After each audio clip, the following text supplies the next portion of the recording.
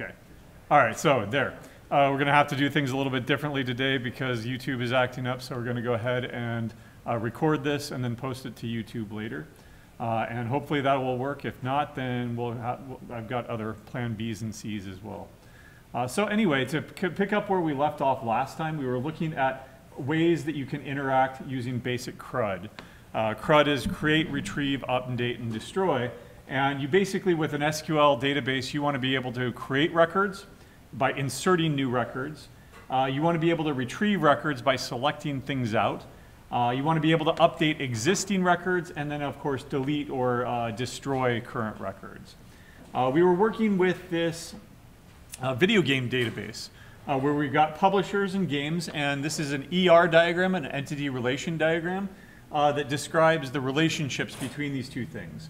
So we've got a publisher, and there's a one-to-many relationship with the game. So that one publisher can publish multiple games. Uh, and likewise, we've got a many-to-many -many relationship here from the game table to the platform table. Uh, and that means that one game can be published on multiple systems, and then vice versa from the other perspective, one system, like a PC, Mac, uh, you know, uh, Xbox, whatever, uh, has multiple games on it, okay? We went through the basic uh, insert, update, and destroy, uh, but then we also went through the basic selection of data. we looked at aggregate functions where you can count the number of records, sum things up, find the minimum, find the maximum, right? Uh, we use the where clause to winnow down our, uh, our results to only those that we were looking at. Uh, you can use that string matching with partial matching. Uh, and then uh, we, we, use the order by clause to order the results coming out of the database. Normally the column order doesn't matter, the row order doesn't matter. If you want to, you can change those in your queries and you can go ahead and impose an order using the order by clause here, you can do multiple things. So order by publisher ID and then name in ascending or descending order. You can also have queries within a queries. So for example, if you want to insert into publisher name DC games, you can insert into game, name, and then publisher ID. You can either uh, directly get that or you can use a subquery to get that once it's been created so that you don't have to hard code that value. Uh, when you are inserting test data, we do recommend, of course, that you hard code values. So what we want to look at now are data projections because we actually want to produce some more substantial, uh, you know, results rather than just just the, uh, the, the raw data. Sorry, that alter should not be there. Right there. That was just auto completion when I cut and pasted it. Uh, so what do we mean by projection? Well, imagine a four or, a um, say a three-dimensional cube. Uh, that's a three-dimensional object, x, y, and z. Now what you can do is you can project that down onto two, uh, a two-dimensional surface. If you've got a perfect cube here and you project it perfectly down on a two-dimensional surface, what do you get? A square. Now project that again and lose it. You've lost a dimension. You've lost the z dimension, right? Now you've got a square. Project that again now down to, from two dimensions down to one dimension. What do you get? A line, segment, right? Now project that down to zero dimensions and what do you get? A point, right? So zero dimensions is just a single point, right? So you can project data down on multiple dimensions. Why would you want to do that? Because you could do thing, uh, you could group by clauses here along with aggregates to produce new results. Here we've got a bunch of books. I've got three dimensions here. What I'm going to do is I'm going to lose one of those dimensions. I'm going to lose the title because what I'm interested in is the number of books, the number of copies for each author that I have in my database. Right? So for example, Norman Mailer, he's got two copies of two different books here, but there are 13 total copies, 10 plus 3. Uh, Douglas Adams, I've got three of his books. There are four, two, and one copies. So what I want is ultimately a report that says Norman Mailer, 13, Douglas Adams, 7, and because there's only one copy of Orson Scott Card books, I've got seven copies of those. I want to project that down and aggregate one of the dimensions together, right? So what I'm going to do is I'm going to group them by the author. And that's what's using this group by clause that I'm describing up here. So there are two steps to this, at least two steps behind the scene. There's just one query. So Norman Mailer, those two things are now grouped together. Douglas Adams are all grouped together because I'm grouping them by their authors. And now what you do is you can project it down. You will take these three, these two values and you will sum them up. You'll take these three values and sum them up. And the common factor here, Douglas Adams, Douglas Adams, Douglas Adams, that gets collapsed down into one value, Douglas Adams. And then 4 plus 2 plus 1 all get summed up, resulting in Norman Mailer 13, Douglas Adams 7, Orson Scott Card 7. Now let's come over to our database and look and see what that query would actually look like. Uh, hopefully it connects. I should have connected beforehand and give it a little bit more time, but apparently there are major network issues here today because I'm not able to connect to YouTube and I'm not able to connect to the CSE server, or the, the Linux server. Yeah. The entire thing? I'm fine. All right. Okay, fine. Let's go ahead and shut it off. Shut it on. Nobody says shut it on, right? Turn it on. Why not? Say what? Uh, the the stream's always uh, was was off from the beginning because of uh, YouTube, uh, but we're recording this. All right. All right. Yeah, this one's down too. Wonderful EduRoam today.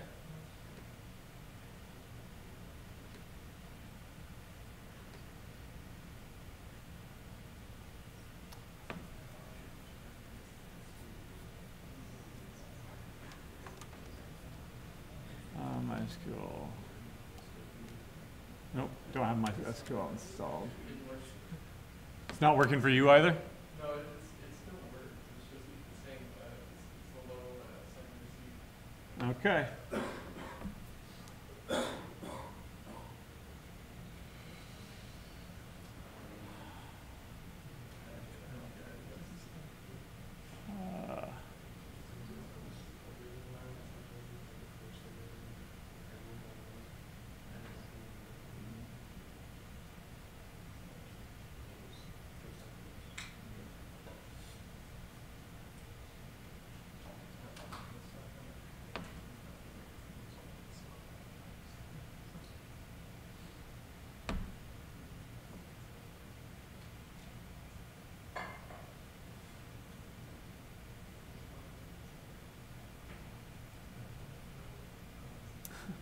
Really? All right. Hmm. Who did you just connect to? You roam? All right, fine. I'll trust you this time.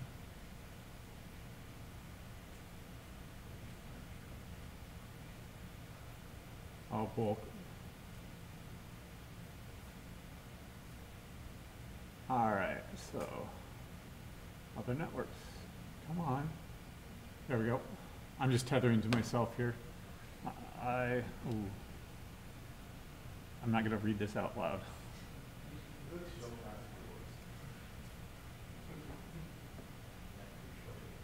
No way. All right, there we go. Oh, come on. The entire server is down? Okay, no, there we go. All right. So, ignore that. I don't know, how many, how many of your professors would end up tethering to their own hotspot to get to an SQL server live because YouTube failed? All right. All right, wonderful. EduRoam, put in some uh, complaints to ITS. Anyway, so what we want to do is some data projections, okay? This is, don't worry, this is all recording. Uh, I, I'm not going to go bother and cut that out. Uh, I'm not going to edit this crap. Uh, so data projections. Uh, basically what I want to do is I want to determine how many games were published by each publisher. So now what I'm going to do is I'm going to start in the game table here first, okay? If I just select all the games, select star from game, right? Actually, I need to use my database first. There we go. Green, we're good to go. Select everything from game, right? Now, the publisher IDs here are listed, six, right, five, ten, right? They're not in any particular order. So what I'm going to do is I'm going to add another clause here to order them by their publisher ID, okay? And what that will do uh, is reorder them like that. But I don't want to just order them, I want to project them down. Again, I've got one, two, three uh, uh, dimensions of data here. So I'm going to go ahead and change this from ordered by to group by. What that's going to do is that's going to collapse all of the uh, publisher ID ones. It's going to collapse all the publisher ID fives, right? And you'll see that it looks something like this. All the ones are now together. All the fi fives have now been collapsed. All the sixes have been collapsed. The problem is I'm not aggregating anything together. What I want to do is I want to select the publisher ID, right? and I want to do actually compute something with this projection. I want to sum up all of the values. Uh, so count everything as number of titles. All right, there we go. So now I'm getting publisher ID 1, which is, I think, LucasArts. They were publishing three games. Uh, publisher ID 5, which is uh, uh, Nintendo, I think, they, pay, they published five games. Okay, dot, dot, dot. Uh, that's kind of unsatisfying, though, because who are these publishers? I, I, I remembered that because I've run this before, and that's LucasArts and that's Nintendo right there. But what about 13? I have no idea. And also remember that we've got plenty of publishers that are not going to be showing up here from publisher. Right, there we go. So we've got, pub, uh, like, for example, Sony Computer Entertainment or Square Enix or Sega. We don't have any records of anything that they have published. Remember that we have this parent-child relationship here. A parent can get, exist, the publisher can exist, without having published any games. It's a one-to-many relationship. Zero is still many, right? It's zero, one, two, three, four, as many as you want, including zero. So a child record cannot exist without the parent record. Uh, but we can have a parent record with no, child, no children. Right? They're not going to show up in this report at all, right? If I run it like this, right? I want to see both the publisher's name and I also want to see a report that says that they've published zero games. Okay? Now to do that, we're going to need something else. We're going to need joins. We're going to need to take these two tables, this publisher table and this game table, and join them together because the, uh, the publisher name, that's over here in one table, right?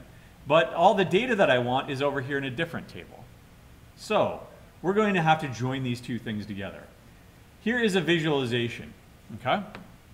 Here's a student table with four students in it. Here's an email table with email, four emails in it. Uh, now, one student can have multiple emails, okay? Uh, you can say that there's like multiple people can share the same email, but nobody really does that, uh, or you shouldn't, right? Uh, but in any case, what we've got here is a one-to-many relationship. So what I'm going to do is I'm going to join this student table over here to this email table over here. Now, how are they joined together? Well, over here, the primary key is the student ID. Over here, the foreign key that references the person table, the parent table, is also called the student ID. There's the email ID, that's the primary key of that table. So over here, Starlin Castro has one, two, three, four. If I look over here, I see that his ID appears once with that particular address, and so when I join them together, I get that email right there. Uh, Anthony Rizzo, he's got five, six, seven, eight. He's joined together with this one email over here, Rizzo at Cubs. Right? And then finally, Ryne Sandberg down here, he matches two things, 9988, 9988, 9988. He's got two emails, so he's going to appear here twice. But what about Dale Sveum right here? Does he match any 1122? Does he match any records over here? Don't confuse that with this record right here. 1112, I guess it's completely different anyway. Uh, but you're looking at the, e, uh, the student uh, ID, okay? So what I want to do is I want to produce a table that looks something like this, but I want to do it with a publisher and a game. Before we do that, let's think about some mathematics, okay? So basic math, basic set theory. Right? So a set is a collection, uh, is an unordered collection of similar objects, objects. All right, there we go uh, of, of distinct, I should say, unique, similar objects, right? A set does not have duplicates.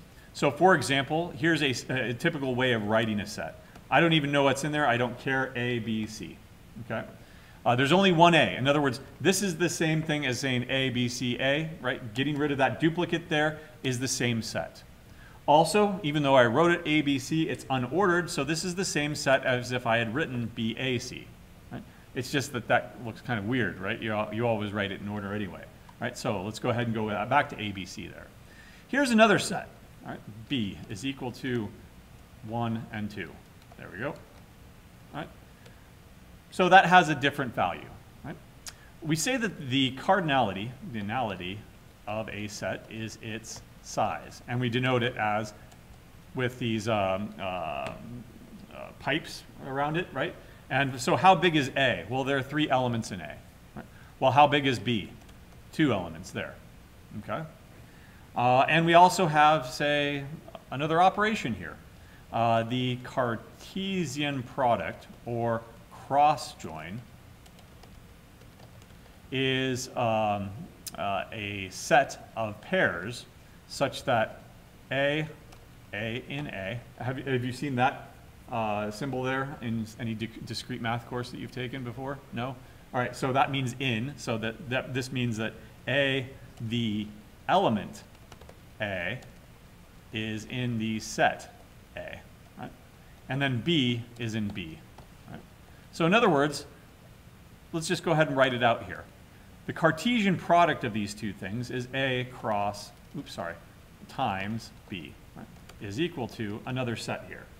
So you've certainly seen that before, it's multiplication. And so it's kind of like multiplication in that you take the first one and the second one and you pair them together. So for example, if I look at A, there's A, B, and C in there. So let's just take A. I will pair it with 1, okay? And I also pair it with 2. Right? These are pairs. That's why I'm writing parentheses there. They're ordered tuples, okay? Uh, now, A is paired with 1 and 2. B is paired with 1 and 2. You start seeing the pattern here. All right? And then finally, C is paired with 1 and 2. Right? C with 2. Right? Now, you have seen this before. You've seen this since grade school. Right? What if I told you that uh, A and B were not those sets? Instead, they were math BBR, right, times math BBR. Right. So have you seen this uh, scripted R before? That's the real numbers, right? Any fractional value. So if I take the reals and pair them up with the reals, then what do you have? You have things that look like this, x and y, where x and y are sets in the real number, are, are values in the real uh, number set, right? So does this look familiar now? If I call it the Cartesian product, it forms the x-axis and the y-axis. You call that the Cartesian plane, right? Or Cartesian coordinates? This Cartesian is all over the place. That's what we have over here in uh, our database, right? So my final observation is going to be the following. How big is A times B, right? right? So how many, element, uh, how many elements were in that set that we just wrote down up here? A1, A2, B1, B2, C1, C2. Right? How big was it? Six. Or in general, it's going to be A times B, the cardinality of those two things. Now imagine that it wasn't 3 and 2. Imagine that it was, say, a million elements in one set and a million elements in the second set. How big is this going to be? A million times a million, we call them trillions, right? So are you going to be doing a full cross join like this in a database? Let's find out what happens when you do, all right? So select everything from publisher, join, game, right? This is also called a cross join, right? But because, you know, we like to shorten things, we're just going to call it a join. There we go. So I start with LucasArts, Sony Entertainment, Square Enix, right? Did they all publish GTA 4? No, that's nonsense. Did every every single uh, publisher publish GTA 3? No, that's nonsense. Did every single publisher uh, publish GTA? No, that's nonsense. So what have we done here? We've done a full Cartesian product. Right? Let me show you. Select a count of the number of things from publisher. 13. There are 13 publishers there. Right? I'll go ahead and note that as a comment. Select count of everything from game. 20. We have 20 games in there. Right? So what I'm going to do is going to, come, going to come back up here, and I'm going to count the number of elements when I actually join them together. Right? Count. Right? And we get 260. Do you look at, does that number seem familiar? What is it? 13 times 20, or exactly what we said over here. You take the size of the first set and the size of the second set, you multiply them together. Now again, I only have 28 records, 13 records. None of them make any sense, right? Nor not all of them make any sense. If you, I were to do this something naively like this on a database, what would I get? A million times a million?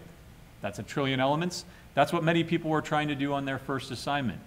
For every single patient data record in the first file, let's go ahead and do every single patient record over in the second file. Except that there were like 10 million there and 10 million over here. How many is that? 100 trillion, right? That ain't happening. So what we need to do is we need to pay attention to how this database was designed. Right? Any old publisher record is not related to any old game record over here. They're only re related if the publisher ID is the same. So I need to put that condition in there. Right? Don't just join blindly here. We're actually going to join based on that, what's called a predicate, join game on publisher, publisher ID is equal to game, uh, or publisher ID, publisher ID. Except that which publisher ID, which publisher, which uh, are we talking about here? Well, now here's some new syntax in SQL.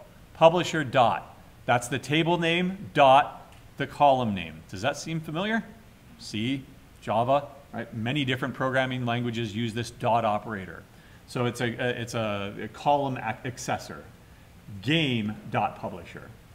Only if the publisher record over here is equal to the publisher record over here, game ID. Publisher ID, a uh, publisher dot publisher ID, game dot publisher ID. Okay? So let's go ahead and execute that. Now it makes a little bit more sense. Rockstar Games indeed published GTA 1, 2, and 3. Right? And I'm not getting all of those records at all anymore. If you were to count these up, I'm getting 20 records now. Why? Because I had 20 game records. Okay? I'm not getting 260 records anymore. I'm only getting records that are actually related to each other. Do you remember what we started out with? With all the problems with flat files, and then we introduced RDBMSs. What was the R? Relational, right? Records are only re uh, relevant if they are related to each other. That's where the R comes in here. In fact, there's a mathematical definition of that that goes back centuries. A relation is a subset of a Cartesian product right? Don't, uh, that satisfies some predicate. Don't worry about that. You'll get that to that maybe in a, I don't, there should be like a, a discrete math course that's required by computer engineering. Yes? No? What is it? What number is it? Does anybody know? All right. Well, in any case, you'll eventually get to that. Don't worry about it now. I'm just showing you this for uh, it's just background purposes. Wow, that was long. Can we shorten it up? Well, yes. One, what you can do is you can go ahead and not care about white space. Break up long lines on multiple lines. What you generally do is you start out with no indentation and then each subsequent line you just tab over or space over or something like that. You generally break up on uh, keywords, right? So from, join, and on, I'd break those up.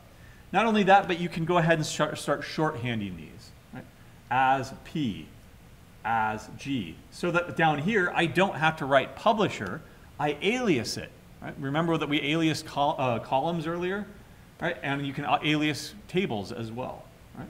So from publisher P as P, from game G as G. And then you can use those in your, uh, as abbreviations. Right? You can't, you can't uh, abbreviate uh, uh, column names like this though. Right? That will be the same thing. In fact, we can abbreviate it even further. This is so common that you can go ahead and omit the as entirely. Right? Publisher P, game G. Right? Once you get into the habit of writing SQL like this, you'll start omitting these things. You'll start eliding them away. Right? Okay, great. I got a complete list of publishers right, along with their games. The problem now is that I, am not seeing all those publishers that were missing before anymore right? Remember, let's, let's take a look at all the publishers again. Sony Entertainment, Square Enix, Sega. Do they show up down here in this report? Nope. Why? Because there was nothing to join them to. Remember, you can have a parent record with no children. So how do we preserve those? We need a different type of join. Right? We need a left join. So the difference is Dale Sveum, remember, he was not there. But we want to preserve him, right?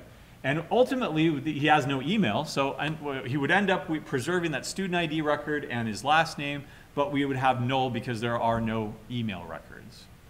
The only difference, excuse me, the only difference here is that instead of a join, you preserve records from the left, right? So it's a left join.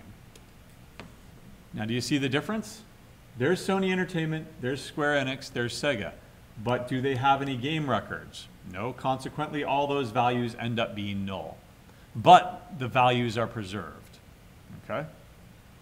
So let's cut this down a little bit because I'm really only interested in the publisher name and the game name, right? Uh, generally, using the star operator like I've been doing is bad practice when, unless you're in an IDE like this.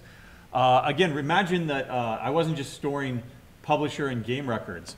I was actually storing the entire ROM uh, for the game because I pirated it, right? Uh, in fact, there was big news about some emulator for a Switch company, company or a group or something. They had to settle with Nintendo and shut down. Yuzi or what, what were they? Yuzu, uh, whatever they were called. They had to pay. Uh, Nintendo shut them down big time. Uh, but suppose that uh, that I still have all the ROMs, right? I still have. Uh, I've, all, I've downloaded them on torrent or something like that. Uh, and I'm storing them in this database because I'm going to serve them up to other people, right? I shouldn't be doing that, of course. Right? But suppose that I were. Now, suppose that I wanted on a web page to serve them up to list all of those games, right? But only when you request a specific game do I actually want to deliver that entire huge large file. We call those blobs, binary large objects, right? Now imagine that you were using the star operator here on your database. You are pulling out gigabyte after gigabyte after gigabyte, sending it over the wire, over the network, right? And clearly our network cannot handle anything today, right? So, you know, you're wasting all that bandwidth for data that ultimately gets ignored at the other end. If you are not concerned with that data, you should not be sending it over. For example, I don't care what the publisher ID is. That's a database thing. I want to know who the publisher is, LucasArts. I don't care what the game ID is, and I certainly don't care that the publisher ID over here is a repeat of that, uh, that data over there. So let's only pull out unique elements over here. p.name, again, I'm using that, uh, that uh, uh alias that I uh, defined up below, and then g.name, right? from publisher p. Right? Even though I define the, uh, the alias down here, I can use it before I define it. Right? That's just how SQL works. It's what's called a declarative programming language which is a functional programming language, you are declaring what this is, not how it works, right? I'm not saying, okay, go out to this table and write a for loop to iterate over all the elements, and if that one matches, then put it into a result. If that one doesn't match, then don't put it in the result, right? I plus plus, uh, I is less than n, right? I'm not writing a for loop saying how it gets done. I'm just saying this is what it is, and then the database takes care of it for me, right? So the problem, however, is when I get that report back, do I know the difference between those two columns? I do because I, I, I, I know who LucasArts is and I know what Lego Star Wars is. I know that one of these is the publisher and one of this is the game title. But does that tell me up here name and name? Nope. So let's go ahead and alias those as well. As publisher, as title. There we go. And now, that's much better human readable report. Okay? Again, it's the difference between a left join. And yes, there is a right join. Yes, there are right joins. The right joins would pre preserve records going from the right. So for example, if I just uh, move these back and forth, if I said from game G, right join publisher P on those values, I get the exact same result. But all I did was take those two tables and swap them, right? It is preserving from the right now, right? Now uh, the publisher is over on the right and the game is over here on the left, right? And then you're preserving from this direction. How many, how many of you folks read left to right on a daily basis? Uh, everybody. How many of you folks read right to left? Uh, you you do? Oh, okay.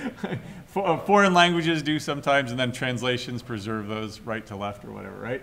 Uh, but I don't, and I don't like thinking like that, all right? Uh, so I'm going to go ahead and not use a right join. Instead, just swap your tables and do left joins. Unless you have to use a right join. And I'll show you an example of that later on. Because what you're going to do is you're going to combine, you want to preserve from both directions, right? Because you want one big flat file. Hmm? All right. So what should we do now? Let's go ahead and combine these two things together to solve the original problem. I want to report with the publisher name plus the number, number of games they've published. Right? So I'm going to have to use a group by clause after I join them together. So select everything from, initially, from uh, publisher P, right? Uh, P, join game G on, I guess I should go from, be consistent about it, there we go, that's a little bit better. On P dot publisher ID is equal to G dot publisher ID. There's my uh, query from before, I'm getting everything here, but now I want to group them. Group by publisher ID. Now, how many publisher IDs do I have already with just these two tables? Two copies.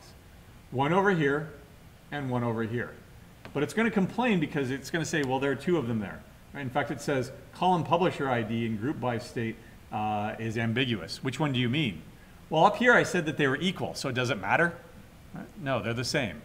But I will go ahead and say p dot because that's where it comes from as a primary key. Generally, when you group by something, you want to group by the unique identifier. If I were to group by, say, last name, first name, which is a common issue that people have with the albums database that you'll be doing this week, right? Uh, is everybody's first name, last name completely 100% unique? No. I Google yourself sometime, right? Uh, there's a there's a uh, Irish boxer with my exact same name. Uh, there is a uh, what is a New Zealander, uh, the New Zealand legislator with my exact same name, and then an artist and like a poet and something like that, right? Uh, I've never actually contacted any of those other Chris Bourkes, but it's certainly not a unique name. But what is unique is your primary key. So when you group by something, you generally want to group by that. right? Now this is not going to give me what I want because all I want is the name of the publisher and the number of games that they've published, not the games that, uh, themselves. So once I've grouped them, remember that I want the p.name as publisher, comma, account, initially what I'm going to do is count all this stuff, as number of titles. Right, there we go. Okay. LucasArts 3, Nintendo 5. Hopefully that looks familiar at this point because those are the numbers that we had before. But now we have their name, LucasArts and Nintendo. What about that Delph that 13 down below, Delphine Software? Now I know who they are. They've published one game. The problem is I do not have all of the publishers. Remember, there are some publishers that have published zero games. I want that to show up in this report. Right? Come on. There you go. It's getting slow. Hopefully I'm not using up my gigabytes. Right? Uh, that, that's another good reason not to use the star operator. I'm on a hotspot right now, right? And I'm going to run out because uh, the month just started. uh, anyway, uh, from publisher P, what kind of join should I have done to preserve those records? A left join. We're still not there. Once this executes, you'll see that Sony Entertainment has one game published. Now, LucasArts 3 and uh, Nintendo 5, those are un- remain unchanged. But Sony Entertainment, Square Enix, and Sega, they didn't publish any games. Why am I getting one here? Well, what, are, what, what am I counting? I'm counting everything. I'm counting all the records that appear in rows. Remember, Square Enix appeared with a bunch of nulls over here. So what do you actually want to count that actually exists? If they've published a game, the game ID is what you want. Right? And now I'm going to get those zeros right there. Because those game IDs will be null. And those um, null, when you add them up, null plus null plus null, at least as far as SQL is concerned, is zero. The numerical value of null is zero. Okay? All right, great. Uh, all right, I want to know who's published more than five games. So what I'm going to do is I'm going to filter this further. Filter the results after the join and projection, that is group by. So for example, I want uh, where, where a number, a number of titles is strictly greater than three. I want to know who's published four or more games. Okay? Except that it's not going to let me. Where? Where only happens at the database level before projections. Okay? What you need to do is you need to, uh, if you've got a table and you want to limit it down to only things that, that you care about, you need to use the where clause before the while, or before the group by, right? Except that we can't do that because this column doesn't exist. It's not part of the database. It's only computed after the group by clause. That's why they give you another keyword, having. Right? Having is a filter that you can apply after a data projection. Having number of titles strictly greater than three. There we go. Only Nintendo and Rockstar Games have published more than three games in, the, in this data set. Okay? You could have done having no games. There we go. And then you'll get all the uh, list uh, by itself of all the publishers who have no games at all. I'm going to go ahead and leave it as before though, because that's a little bit more interesting. You can always change it. Okay? All right. So one last thing that we'll do before we move on is let's go ahead and come full circle. Uh, what we're going to do is we're going to flatten the entire data model.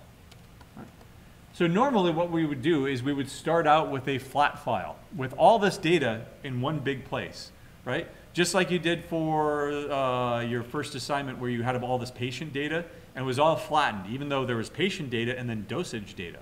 One patient could have many doses, right? There are two tables there. And to create those, I just simply flattened everything out. We then came over to a relational database system because we realized that there was a bunch of redundancy and other problems with it, right? What were those problems again?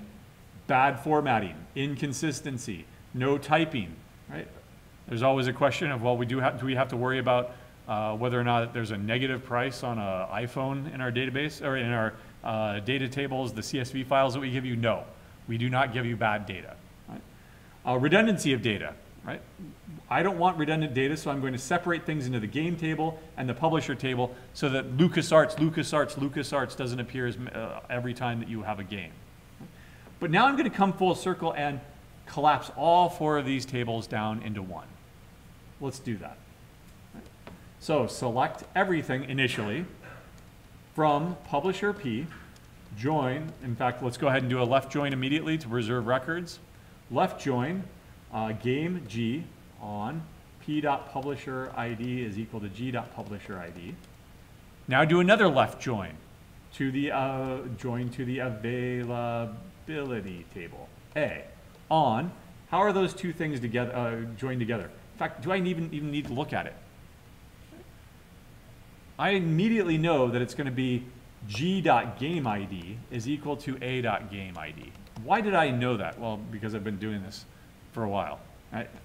But also, let's observe what I've done over here in this database. Every table has a consistent name and consistent naming convention. All singular, no pluralization. It's not the game games table, it is the game table. It contains game records, right? Every uh, primary key is named after the table, and then I just slapped an ID at the end using lower camel casing conventions. Every uh, foreign key is named after the primary key that it references. So jump down here to the availability table. I know that it's related to the game table through the game ID. Then I know that that's related to the platform table through the platform ID. I was following the same naming conventions all over the place. No guesswork whatsoever. What was that primary key again? What was that foreign key again? No guesswork, right? Left join to the platform table, P, on uh, a dot platform ID is equal to p dot platform ID. So do you immediately see a problem with my aliases? There are two tables that begin with a P. I can't have two uh, aliases that begin with a P. So let's go ahead and use a different alias, plat, right? And plat, short for platform. There. All the way across, everything is preserved. LucasArts, Lego Star Wars, published on the Xbox in 2005. Uh, LucasArts, Lego Star Wars, also published in 2005, but on PlayStation 2. right? There's Sony Entertainment that is uh, not, that doesn't have any games and therefore no availability. Uh, do we have any games? We have a game right here, Rockstar Games published GTA 3, but it's not available on any system, right? at least according to this data. All right, let's go ahead and winnow that down. I'm really only interested in the names, names, publish year, because I want to know what year it was published, and the name of the platform that it was published on. So let's go ahead and winnow that down by only selecting out what we care about. P dot name as publisher. Right? In fact, you can do this. Oops. I would generally tab more over on that. P or uh, G dot name as title. Uh, A dot publish year. And there no alias needed on that because it's not, not ambiguous. And then finally plat. Oh, sorry, comma, comma, comma. Plat dot name as platform. There. LucasArts Lego Star Wars 2005 Xbox. If I were to dump this to an XM, uh, to a CSV file, it would be a flattened file. Now, there is a still a problem here. Right? Even though I'm preserving from the left, what could I potentially be missing here? Let's come back over here. Can you have a platform with no games on it? At least according to the database? Yeah. In fact, let's find out if we do. Right? Select everything from platform. Oops. There we go. Down here at the bottom, I inserted two new records that were way more modern. Steam Deck and Playdate. So everybody knows what the Steam Deck is, right? A handheld Steam Deck, you, a full Linux operating system. You can download Steam and play Steam games. Cross your fingers and hope that it works, right? And then Playdate. Seen that? It's a, a little uh, black and white LCD screen with a little crank on the side and little casual games, right? It's great. Uh, but it's expensive for what it is. It's, it's 200 bucks, but you get an entire season of games for free. Right? Uh, so those do not have any games in my database because they're way too new. Okay. So are those records pre- uh, preserved over here? Let's go ahead and run it. Do you, if I uh, sort these, I see a bunch of nulls, Game Boy, Mac, NES, PC, PlayStation 1, 2, and 3, Super Nintendo, Xbox, and Xbox 360. I don't see them, right? So let's write another query over here, right? I want to preserve everything not from the left, but from the right, because I want to start at the platform table, then go to the availability table, game, and then publisher, whether or not they have any games available on that platform. I want that Playdate and I want that Steam Deck preserved. I'm not going to reverse anything. I'm going to go with the right join. And I am going to read it right to left, like a manga mm, uh, comic book, right? There we go. Now, down here, I see Steam Deck and Playdate, and they are preserved, even though they have no games available on it. But that's still not satisfying enough. I want all of these things together in one big giant report. So now let's come back over here and review a little bit more set theory. Right? If I have two sets, what is this? Cap B. There we go. And what is this? Let me just cut and paste cap and cup. So what is this thing right here? This A with this uh, kind of an inverted cup right here. It's the what? Uh, and would be the, a good logical interpretation of it, but when we're talking about sets, it's the intersection, right? So, uh, do I have a web browser open? No. Uh, let's go ahead and look at Venn diagram intersection.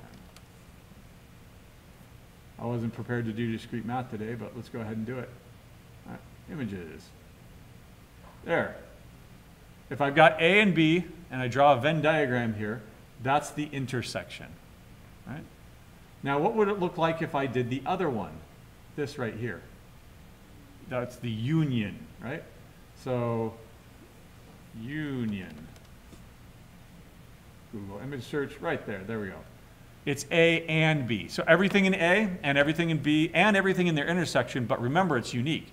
So if it appears in the intersection, there's X in there, X only appears once. So let's do the same thing over here in our database. I'm going to go ahead and remove this uh, semicolon here. And this is the one that preserves everything from the left. This is the one that preserves everything from the right. Let's union them together using the keyword union. There we go. Now, everything, is uh, everything that has a match is there. Everything that doesn't have a match from the left is still there. But also, everything that doesn't have a match from the right is still there. Right?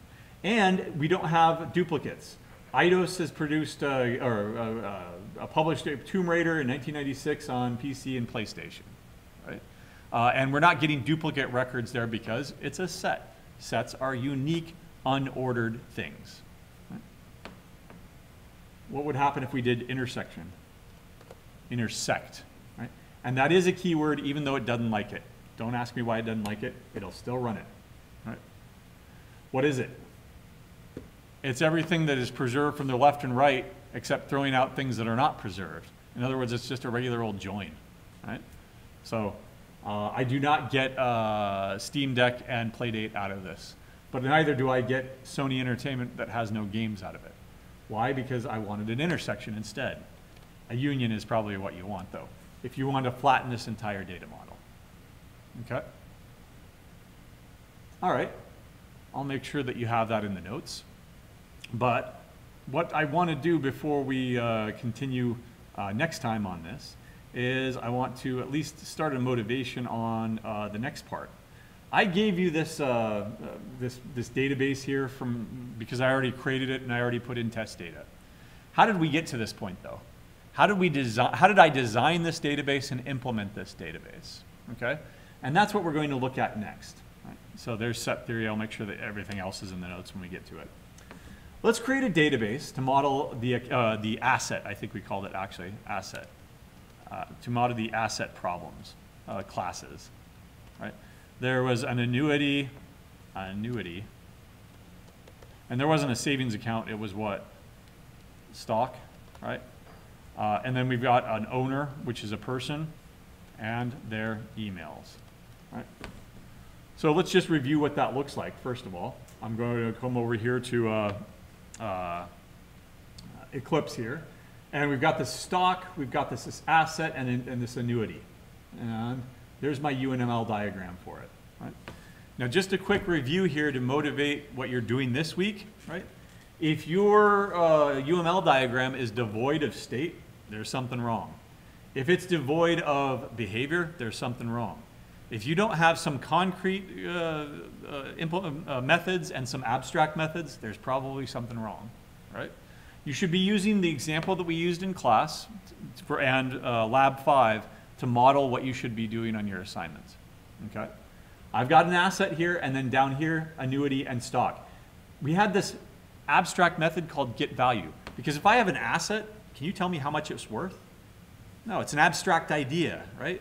Uh, only when it's a stock do we have a number of shares and share price. Multiplying those together gives you the value of that asset. Right?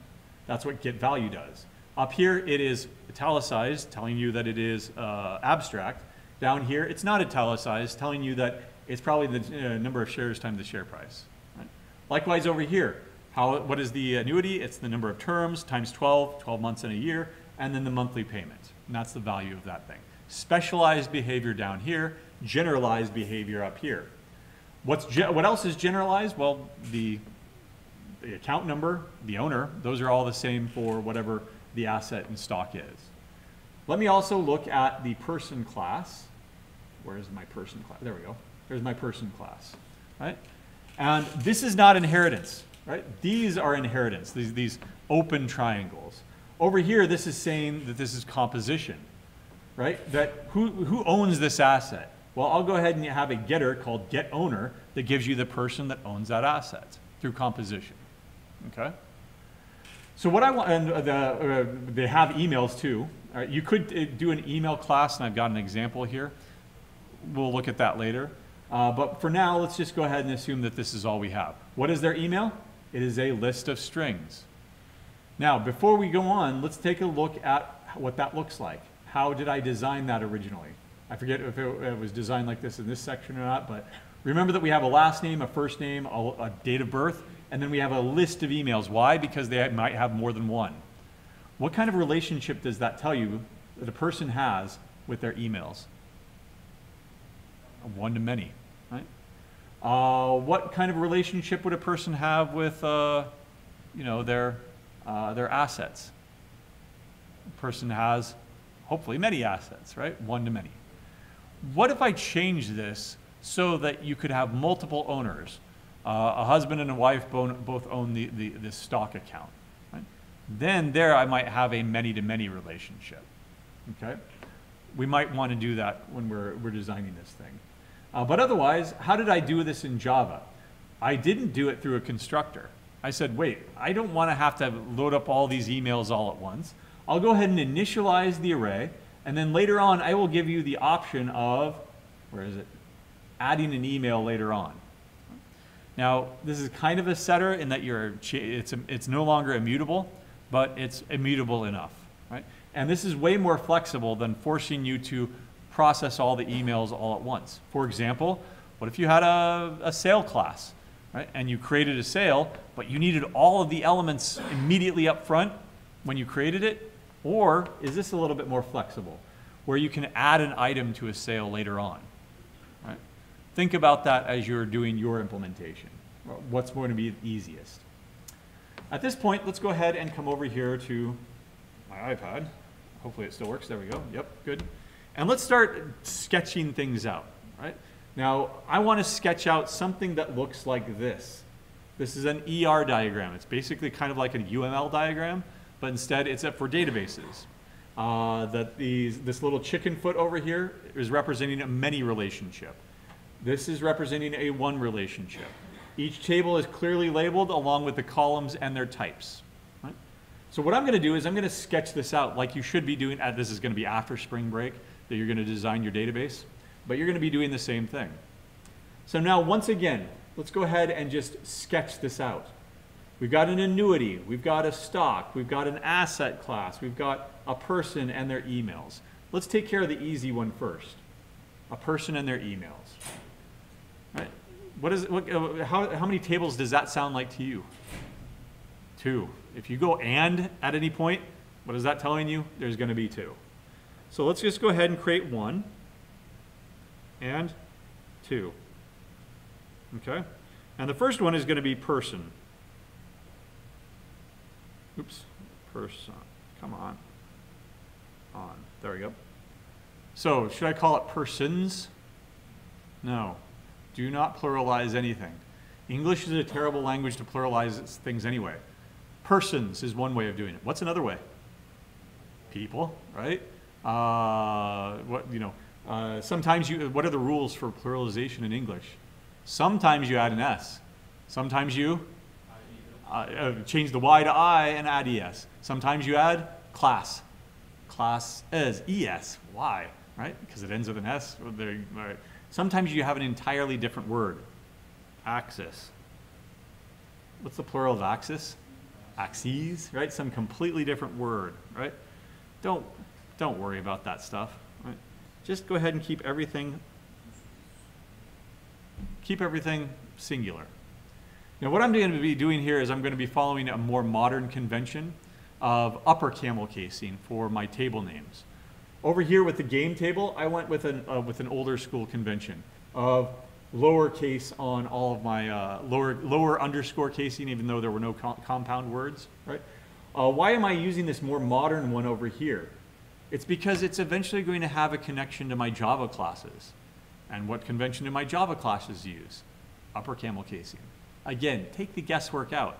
If you're going to query out of the person table to put things into the person class, it's so much easier if they have the same exact name, lowercase, uppercase. Right? Okay, let's start with the uh, person table over here first. All right? You tell me what goes in the person table, especially if we've already designed the classes. Name, just a name? Okay, I like breaking it up as well. Why? First name and last name. Right? Why? Yeah, I mean, it's, uh, how do you know that it's not last name, comma, space, first name? Or first name, space, last name? And how do you enforce that it's gonna be consistent across all the records if it's just one string? right? And there, I gave away the- another hint here. What are these? These are gonna be both, uh, here, uh, where's my undo? Undo went away. There we go. Uh, all right. Uh, there we go. Let's make this a little bit bigger. Okay. Uh, oops, nope. There. Last name, first name, and this is gonna be a varchar.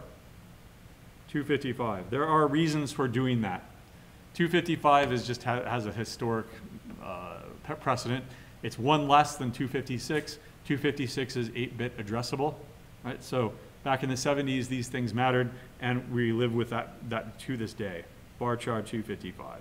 It's just a magic number that's used all over the place. Right, you can go ahead and shorten it 100, fine, but that's kind of weird. Why? Right? Is there a reason to shorten it? I don't know. Right? Do you know? No, but it's just like a default name. Yeah, it's the default. Why is it the default? Because it's 8-bit addressable and it's 255, meaning that you have one space for the null terminating character, right? So uh, there's historic reasons there, right, for how things are stored. Okay? All right, first name, last name. Except that, ah, you know what? Can I move that down? Yeah. What's the very first thing I should have thought of? Let's come back to this database over here. What is the very first thing in every single table, period? Primary key. Named after the table with an ID slapped on the end, and what's its type? An integer. Why not a double? Well, that's just weird, right? First of all, is 0.9999999 infinite equal to 1? Mathematics says yes. Computing says no, right? Uh, 1 divided by 3 times 3, is that equal to 1? Mathematics says yes. Computing says maybe, probably not though. It's going to be 0.3333332 or 0.33333, and then we only have 17 digits of accuracy, so it becomes 0, right? Or it's going to become 4 at the end, right? Floating point numbers are very imprecise.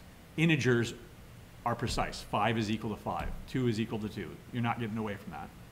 Why not varchars like this? Well, you could do that, but then you're doing string comparisons, which is a hell of a lot more inefficient because you're looking at every single character to see if it's all equal. And that character could be 255 characters long. Then you've got casing issues. Is the query case sensitive? Is the table case sensitive? Is the database case sensitive? Right? Is your session case sensitive? And those all could be different. Right? Don't do that. No guesswork here at all. Let's make sure that we have primary keys that are named after the table. Person ID, uppercase I, lowercase d, and it's going to be an integer. Okay? All right, what else do we want in our person table? A What? Okay, well, I've got an email table over here. We'll go ahead and wait on that. And you know what? Here. Let's resize that and make that a little bit bigger too. I'll leave that over here for now. Right? And give myself some more room on this. There. Okay. All right, but what about the person table? Well, let's go back to our class. What, what do we want to model over here? What else? Certainly emails, we'll get back to that. But what I'm thinking here is date of birth? So, date of birth. Ooh, what type is that? Yes, SQL does have a date type. Just like Java has a local date. Do not use it. Bad, bad, bad. Why? Because it is not interoperable. If you take MySQL database and you move it over to Postgres, good luck. right? Whether or not they support the same date formattings and the same date operations, who knows? What I'm gonna do is I'm gonna say that this is gonna be a varchar for eight ten. Because what I'm thinking here is something like this. Zero, zero, oh, actually, what is today?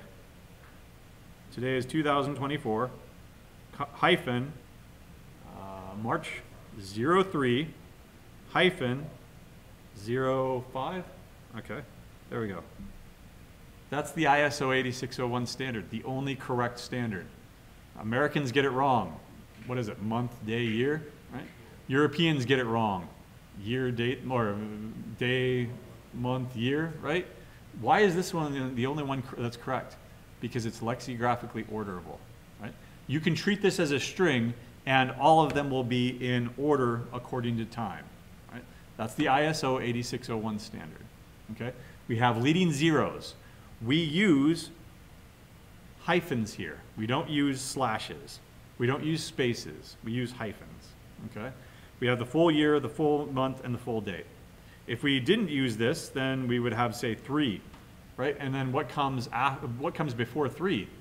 Twelve, right? So December comes before March, right? No. The leading zero ensures that March comes before December because of lexicographic ordering? So that's just my note, ISO 8601, okay?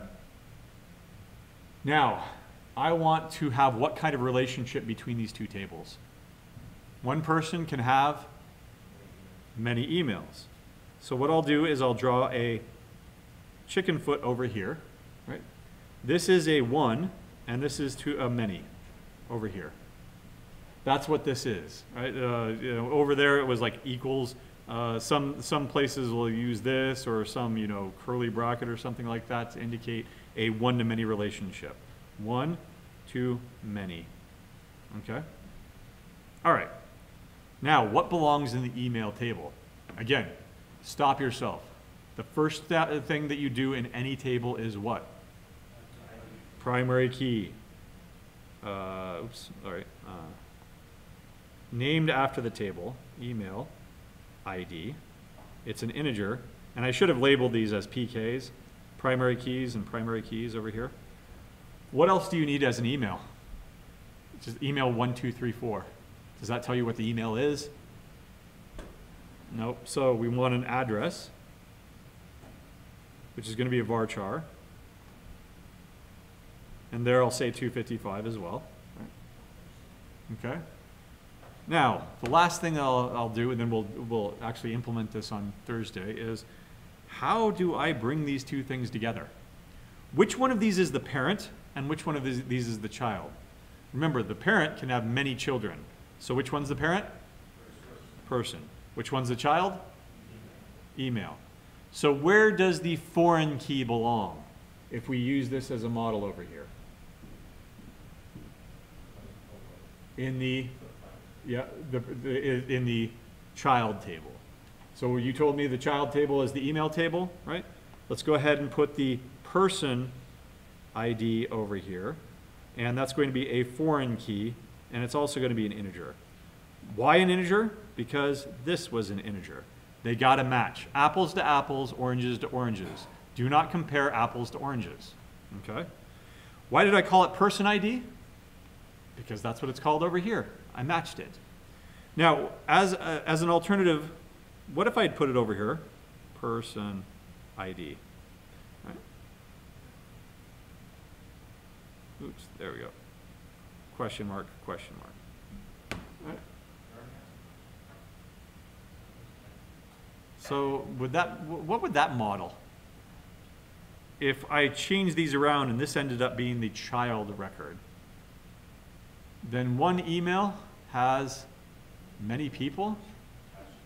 Uh, that, is that the relationship that you want? No. Right? What about another, what, what about a, an alternative here? What if I said email 001, email 002, email, these are all varchars, 003. Does that sound like a, the correct design? Right? No, what if I went with this? You can only ever support three emails. What if they have four? What if they only have one? Which one? Right? One of the, two of those end up being null, just so that you can have these fields, right? You're back all the way at square one with flat files at that point. You have all the problems that we already enumerated if you design your database like this. Whereas if you have a proper one-to-many relationship, this doesn't happen. That's bad, right? In fact, uh, make it really thick. Exit out. Don't do that, right? That's a bad design. In fact, that's what's called a, a violation of first normal form. We'll talk about normal forms, first normal form, second normal form, and third normal form. And if you remember, Edgar Codd created the relational database system, or the, developed it. And uh, the, uh, the mnemonic device goes, everything in the, in the table has to depend on the key, the whole key, and nothing but the key, so help me Codd. And that's first normal form, second normal form, and third normal form. Uh, We'll go ahead and design good ba- databases up front, and then we'll look at what those normalizations actually mean on, uh, uh, probably after the spring break. right? Uh, But otherwise, let me go ahead and stop the recording, since we're not live streaming.